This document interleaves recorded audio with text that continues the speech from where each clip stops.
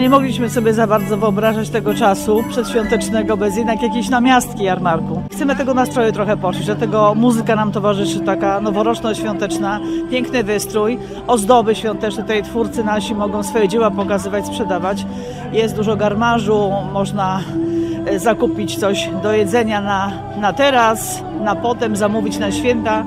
No, organizacje pozarządowe, przedsiębiorcy i właśnie twórcy się prezentują. Myślę, że po pierwsze możemy wprowadzić się w nastrój, a po drugie możemy pomóc. To jest też jeden z celów, e, żeby wesprzeć właśnie te osoby, które tutaj się wystawiają swoje produkty.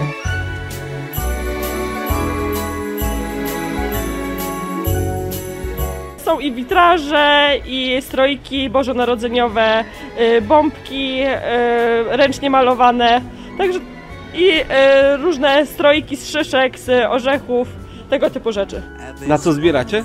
Budżet, który, że tak powiem, wygospodarujemy z y, kiermaszu, będzie przeznaczony na potrzeby podopiecznych, jakieś wycieczki, tego typu rzeczy. Przyjechałam z moimi wyrobami, z pięknymi bombkami, e, zdobionymi metodą decoupage oraz taką złożoną, czyli koraliki, kokardki, jety.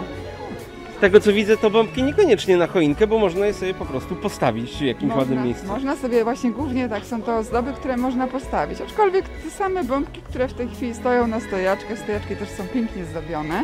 Też e, mój patent. E, można powiesić na choinkę, jeżeli się da sznureczek.